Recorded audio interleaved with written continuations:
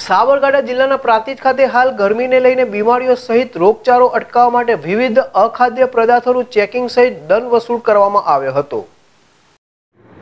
પ્રાંતિજ ખાતે food and drugs વિભાગ હિંમતનગર તથા પ્રાંતિજ નગરપાલિકાના સંયુક્ત ઉપક્રમે આજે પ્રાંતિજ બજાર સહિત વિસ્તારમાં ઠંડા પીણાનો ધંધો કરતા તથા ફ્રૂટનું વેચાણ કરતા તથા ખાદ્ય તેલ સહિત અખાદ્ય પદાર્થોનું સરપ્રાઇઝ ચેકિંગ હાથ ધર્યું હતું.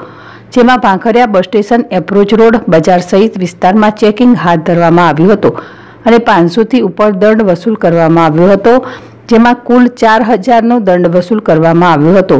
તો પ્રાંતિજ નગરપાલિકાના આરોગ્ય અધિકારી સંજયભાઈ ચૌધરી, મુકેશભાઈ પરમાર, ગોપાલભાઈ પટેલ સહિત આરોગ્ય ટીમ સહિત હિંમતનગરથી ફૂડ એન્ડ ડ્રગ્સ વિભાગની ટીમ ઉપસ્થિત રહી હતી. ને લારીઓ દુકાનો સહિત બજારમાં જઈને અખાદ્ય ચીજવસ્તુઓનો જથ્થો લઈને નાશ કરવામાં આવ્યો હતો અને કેટલાક વેપારીઓ પાસેથી દંડ પણ વસૂલવામાં આવ્યો હતો.